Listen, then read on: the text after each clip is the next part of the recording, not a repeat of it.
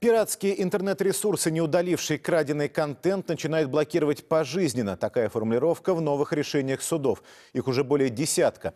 Подобная участь грозит еще двум сотням сайтов, если их не захотят вывести из тени. Возможно ли это, разбирался Петр Дерягин. Без права на возвращение с карты Рунета навсегда исчезают настоящие пиратские флагманы. Кинозал.тв, Router.org и с ними еще десяток сайтов, распространяющих нелегальный контент. Решение суда о пожизненной блокировке уже есть и вступит в силу через несколько дней. Уже было решение суда об удалении э, нашего контента с этих площадок.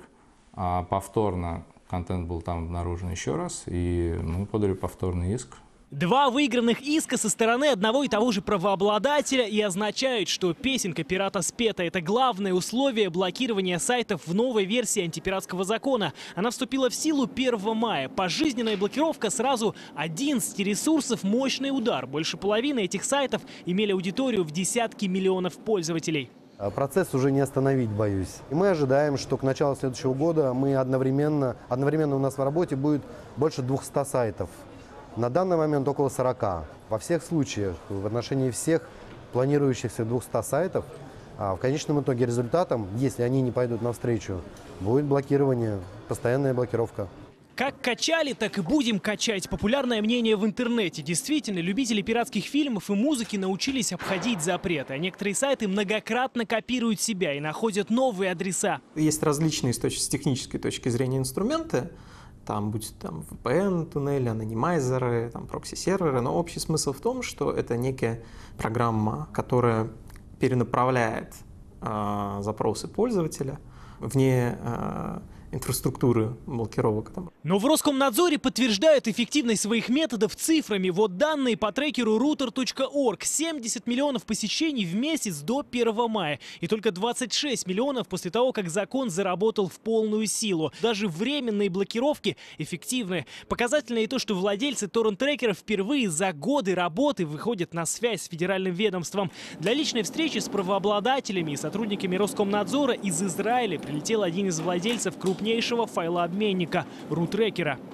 Представитель рутрекера в понедельник нам сказал буквально следующее, что э, когда в СМИ пошли сообщения о готовности правообладателей только подать э, иск о э, блокировке, о постоянной блокировке этого сайта, от них сразу два, два крупнейших рекламодателя ушли. Эффективность блокировок подтверждают сами владельцы сайтов с нелегальным контентом. Многие пираты сейчас пытаются выйти из тени и начать работать легально. При этом наш закон никак не наказывает пользователя. Хотя, например, в Германии штраф за скачивание лишь одного фильма – 1000 евро.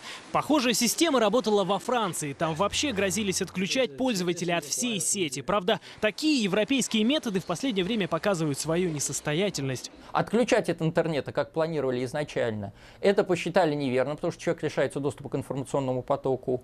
А наказывать, штрафовать именно за пиратство, нужно доказать, что за этим айпишником сидел реальный человек, так сказать. И суды э, эти доказательства затребовали. А агентство, которое этим занималось, эти доказательства представить не смогло. Но самая нормальная в этом плане страна – это Россия, потому что схема, которую внедрил Роскомнадзор, она наиболее продумана и наиболее технична из вот всех, которые имеются на данный момент. Конечно, ограничение доступа к пиратским сайтам – лишь одна сторона медали. В Рунете должна появиться удобная замена этим ресурсам. Например, доля легальных онлайн-кинотеатров за последнее время увеличилась в разы. Не исключено, что такими законными ресурсами в будущем смогут стать сегодняшние пираты.